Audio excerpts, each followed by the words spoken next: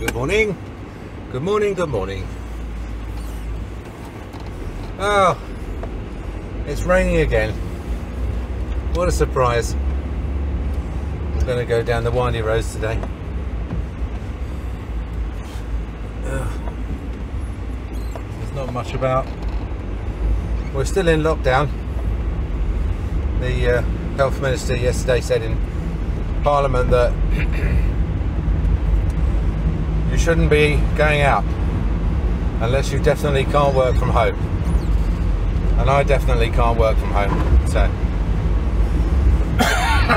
let me just have my morning cough and get the windscreen wipers on. I think the biggest problem this country's got is not COVID, is that I think we're, we're going to be like, it's like Noah's flood. I think we're going to be flooded soon. I don't think we should be building a vaccine, we should be building arks. But uh, anyway, how are you? All right? Okay. I hope you're well. We've got a nice day. Always have a nice day. Always have a nice day to look forward to. Even when I was working really hard when I was young, I used to enjoy it, you know. You've got to enjoy it. The problem is that sometimes you won't have so much in the way of uh, uh, control over your job. If you're a dentist, if you're working as an associate or something, you know. But uh, I worked as an associate for my 40 years. I worked for sort of two, three years as an associate, and and you know it was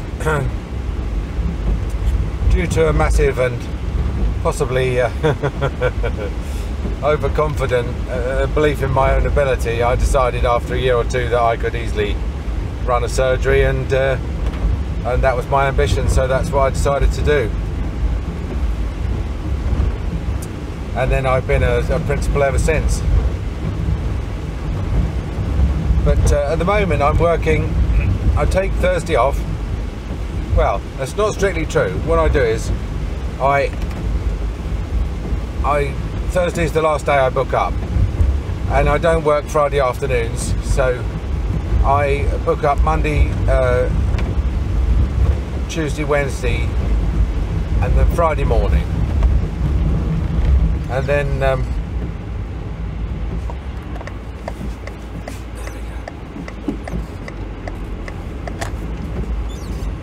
and then uh, so and then if we if we've got having a stonking week and we've got so many patients booked in, then I will book up Thursday.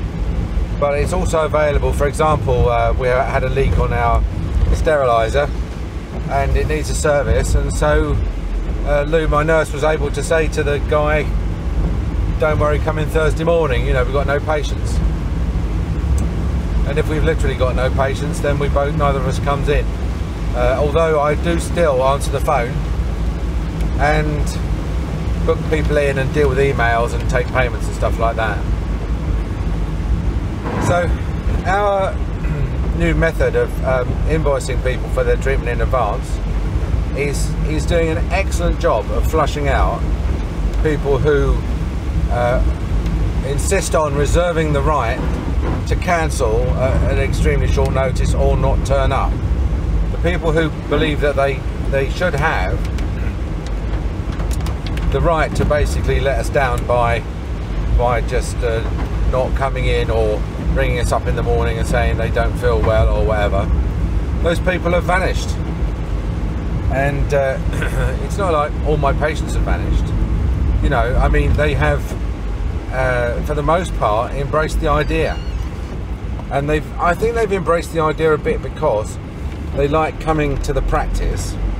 And so if you're like a good dentist and you're doing providing a service which is pretty much exactly what the consumers want then uh, price or, or the odd quirkery it, it, seems to have a very low effect you know? If you're not giving them what they want uh, then you'll get all sorts of pushback and and won't even be able to give the service away for free sometimes. So we have a we have a our software system set up so that every time a course is completed, uh, the patient is sent an email that says, um, "Will you write us? Uh, can you just uh, give us like answer two questions? One is give us a score out of five, and then there's a box saying, "Is there anything you know you'd like to say? Uh, you know, how could we improve?" And I wouldn't say everybody does it, but over time we, we've picked up a load.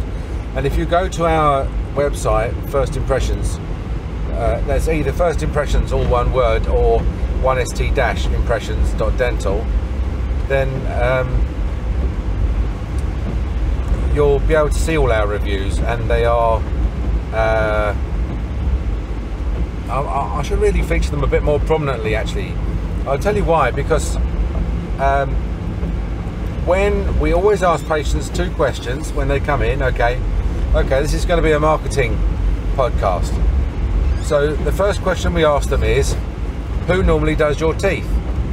And listen very carefully to the phraseology because uh, that's been honed over 40 years, all right, to be exactly the right way to say the question in order to get the answer that you want. So we asked who normally does your teeth. So now, in saying who normally does your teeth, you're sort of presupposing that the patient has someone who normally does their teeth. So that's in a way that's complimenting them. You're not you don't look at them and you say, you know, for Christ's sake, how long has it been since you've been to the dentist?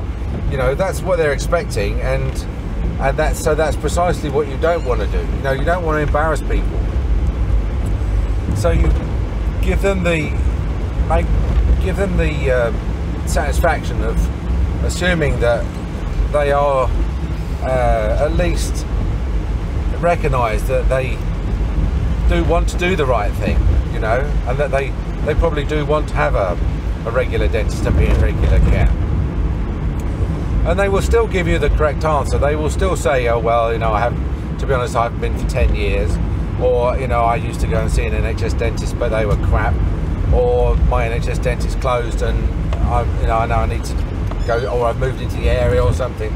They're always and that's always useful. Now you do not need to be anal about writing all this stuff down okay?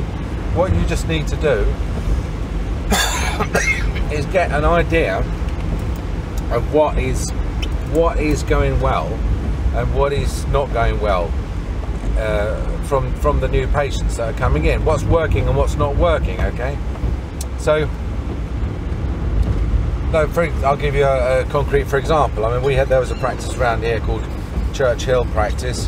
It was set up by the local commissioning authority when the NHS provision was rubbish, so they decided to commission some surgeries directly, and then uh, without realising how much it was going to cost, and so by the time that the uh, these surgeries had ordered uh, two CEREC machines, they decided that perhaps funding a general practice was uh, was not uh, so clever, you know. So they decided to shut it down. And when they shut it down, we um, put adverts in the local paper saying that you know we are here, sort of thing. If you're as your dentist shut, sort of thing. Not not as blatant as that, but you know that was the sort of the implication. And and they fell completely flat on their ass.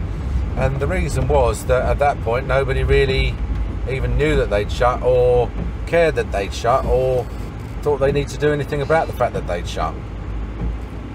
Whereas um, two to three years later, right, when people sort of woken up and thought, do you know what, I haven't had a checkup for a while. Oh God, my dentist is shut. My dentist, did you know my dentist? Yeah, yeah, they shut two years ago. And or they've got toothache and they ring up and they, you know, or they they're told by the local authority that they can go to another surgery perhaps down, uh, you know, 20 miles away, and uh, and then they ring up that other surgery, and then all they get down the down the phone is a lot of laughing, you know, hysterical laughter when they ask if they can register, and then um, then they start ringing around and thinking who else is local. So our, our, our advertising was sort of uh, not targeted correctly. But we only found that by asking people, you know, um, who normally does your teeth. And then the other question we always ask a new patient is, how did you hear about us? You know, how did you find us? How did you find us? You know, and uh, that's obviously um, more geared towards making sure your marketing uh, is uh, effectively spent. So um, you will occasionally, if you're advertising on the radio, sometimes you'll say people have heard you on the radio, or but on the radio more people say just people talking to you generally when you know when you sort of introduce yourself or just um, you're just talking to people and they say, "Oh yeah, you're dentist. I heard you on the radio. I heard you on the radio." But they don't come. They don't come to you. It helps with brand awareness, but the people who actually do are looking for a dentist right now who need one, who are going to pay you money. They are. They tend to come through um, either word of mouth, like somebody at work is going around saying how brilliant you are, and so they told me I've got to go and see you, or um, in the old days it was the yellow pages you know I saw your advert in the yellow pages but now it's Google now what they do is everybody Googles so nobody really uses Yahoo okay nobody uses Bing uh, they um, nobody uses Yell they all just go straight to Google and they put dentist near me and if you've got a site which is honest legal decent honest and truthful and not not you know just stupidly over optimized and, and search engine optimization mad then you'll be in with a chance of Google recommending you. And we um, my website let me just put my wing mirrors out. Nice to be able to see who's on my six o'clock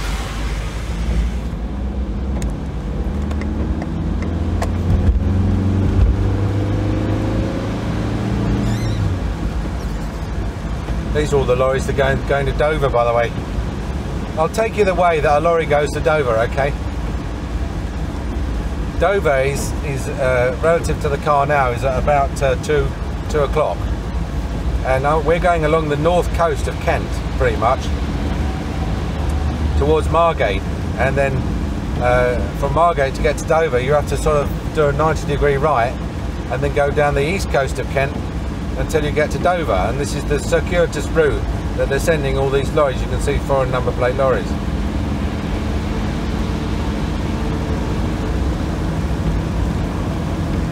So yeah so um, so you say like how did you hear about us? And uh, at the moment everybody's saying the same thing and that's great because if everybody says the same thing it means you know you really know where you can target your spending right and what they're saying is uh, word of mouth or I googled came up with your website and I looked at your reviews and your reviews I was really impressed with your reviews. You've got some really good reviews. So that's why I decided to come along. And that's a human thing isn't it? It's a group thing. It's uh, you know if you see if you see uh, two restaurants and one's absolutely jammed and the other one's completely empty um, you tend to logic would dictate you'd be able to get a table in the empty one easier but you tend to want to go to the jammed one because it's uh, your peers are voting aren't they with their feet with their with their money? Uh, they're saying they're telling you which is the best restaurant uh, just by volume. So uh, so we've got a website we've got tons of good reviews.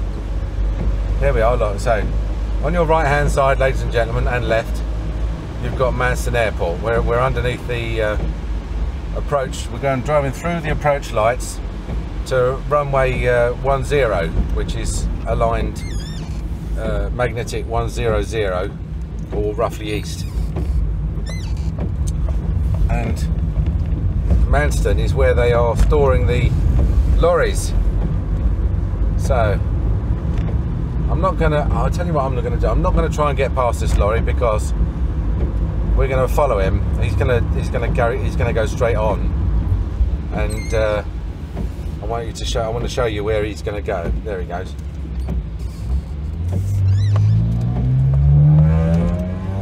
Yeah, yeah, yeah. Get your exhaust fixed. So where was I? Yeah. So so once again, the language, okay? First of all, if you're going to get a load of good reviews, uh, it's no use uh, telling your nurse to sit there with a pencil and paper and just write down anything nice that the, the patients say about you. What you do is you, you get them, you collect, you just collect the reviews. And the best, we found the best way to do it is to send them an email on the completion of their treatment and say, can give us marks out of five and uh, uh, what, do you, what did you think about the service? You know, was there anything else? Anything we got wrong? Anything we got right? And you know, it's true that someone saying you got something wrong is almost more helpful than someone saying you got something right because it gives you a chance to improve. Someone saying how wonderful you are is great, and that brings in new business. But someone saying um, actually, uh, uh, you know, uh, nurse stepped on my toe or something gives them a chance to say to the nurse, don't step on the patient's toes. so, and once again, the wording, the wording is critical, okay? And I can't emphasize this enough. You must constantly look at your written material and go back and read it. And I guarantee if you read it, you'll think, oh, there's a better way I could have said that. There's a clearer way I could have said that. There's a more succinct, a shorter way I could have conveyed that and we read our letters all the time. Here we are now. This road, right, this tiny little road, every single lorry that goes on the Dover ferry comes up this road. This is the main road to Dover. And that's where everyone turns right and they're all going in. They're all going into the uh, sheds at the airport there and that's when their uh, their uh, HI, you know, their HG, what's it, their um, coronavirus certificates are checked and and then they're all taken in convoy down to Dover to be loaded on the boats.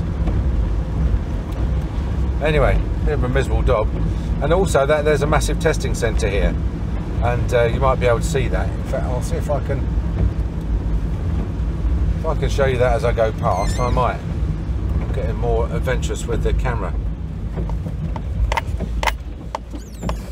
Now we're doing this picture in picture, which does take longer, I must add. Mind you, talking of which, I've got some CCTV at the, um, the farm today, and um, there's the control tower on the left.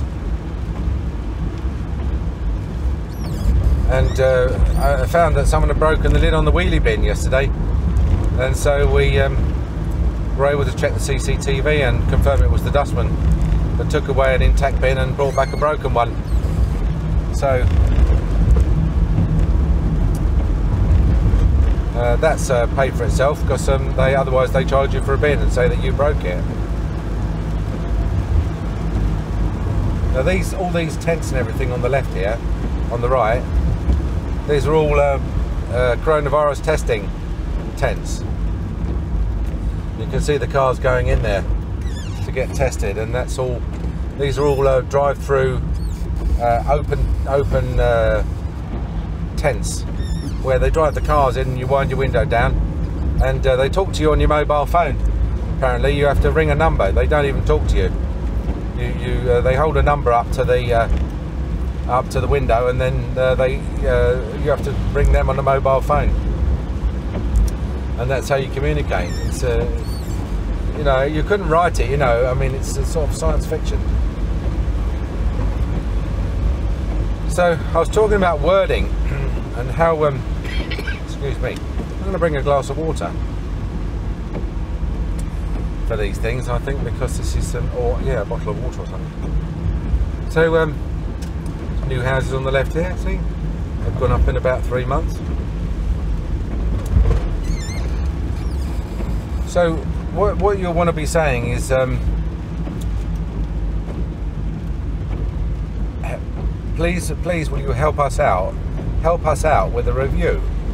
All right because there are two things that you need to overcome. Two two uh, sort of types of resistance that you need to overcome with uh, surveys. One is the inertia that stops people doing them.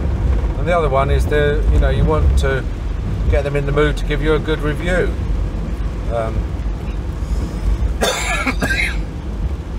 so by saying, you know, can you please help us out with a review? What you're doing is you're very subtly saying, give us a sort of review that would help us out. You see what I mean? So, and also help us out by you know we've we've taken a bit of time over you. Can you just give us help us out with two minutes of your time to help us out with a review? And that phrase "help us out," I think I got from a local um, plumbing plumbing suppliers. I'm sure it's a plumbing supplier. It might be Screwfix or something. Anyway, they just had a sign up saying, "Please help us out with a with a, a review." And I'm pleased to say that 97.6 of our reviews are five star. Uh, now we work hard to make sure everyone's we have a very happy practice, um, and we're not we're not unlucky in that we're stuck in a system where we're not in control of the sort of the levers that that raise on lower patient satisfaction. So, you know, I mean, I wouldn't have a 97.6% satisfaction level if I worked in the health service because I would be working in a way as you know that was dictated by the health service, and they don't care. It doesn't make any difference to them what the satisfaction level is at all. Uh, so it doesn't sort of factor into their service level agreement. But um, but just uh, as I say, be uh, careful about the language. And then, so you said to a patient, "How did you hear about us?" And uh, who normally does your teeth? And then, and that's pretty much. And also, you know, if you're going to go for the gold star, don't sort of say it in a way that, uh, uh, you know, that you're trying to interrogate them. You know, you've got to sort of drop it into the conversation. You've got to be. It's almost like it's got to be. You know, that if you didn't ask them that question, then there would otherwise be quite an awkward silence. So you can just sort of, sort of, you know, pretend to be reading their notes or something and say, um, "So how did you find us?" You know, and uh, they'll say, "Oh, I saw you on the website," you know, and uh, but and I really liked your reviews. And then we always make a joke along the lines of, "Oh, um, you know, well, uh, we'll have to we'll have to delete a few of those because, um, to be honest with you, we um, we like a quiet life, you know, and we don't uh, so we don't really encourage patients. Yeah, and that makes them laugh or." And we do always tell them that uh, our patients love us because uh, we only keep the lovely patients. And that is true, actually. They, they laugh at that, but that is true. Uh, if anybody's got an attitude or a bit of a chip on their shoulder or, um, you know, a tendency to micromanage me uh, or their treatment, then we usually part ways, you know, on friendly terms. Sometimes not so friendly, but um, we I love my job because I love my patients. My patients love me. I love them, and I, I only work every other day. I only work on Monday. I don't come in the next day because it's the hygienist. She works Tuesday, and then I work Wednesday, but I don't come in the next day because it's Thursday. And uh, usually we have Thursday off. Then I work Friday, and then I don't come in the next day because it's Saturday and Sunday. Yeah. So I have a lovely life, but then I deserve to. I tell you. I've done more fillings than you buggers, so I, I, should. There's no reason why I shouldn't calm down a bit. Anyway, nice to talk to you. I'll see you soon. Bye.